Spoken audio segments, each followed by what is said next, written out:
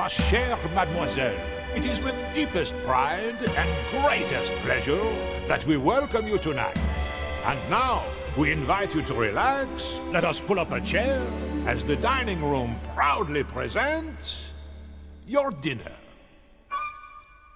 Be our guest. Be our guest. Put our service to the test. Tie your napkin round your neck, sherry, and we provide the rest. Soup du jour, hot hors d'oeuvre. Why, we only live to serve. Try the gray stuff, it's delicious.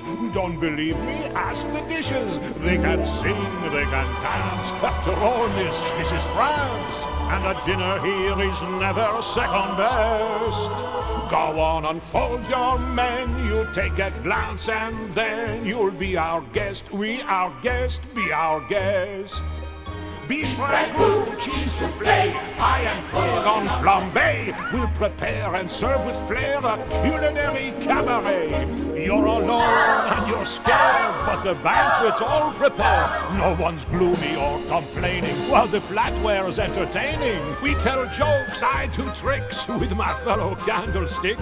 Und it's all in perfect taste that you can best. Come on and lift your glass. You've won your own free pass to be our guest. If you're stressed, it's fine dining we suggest.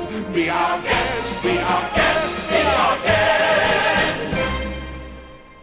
Life is so unnerving for a servant who's not serving. He's not whole without a soul to wait upon. Ah, those good old days when we were useful.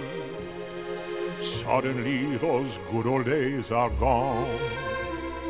Ten years we've been rusting, needing so much more than dusting.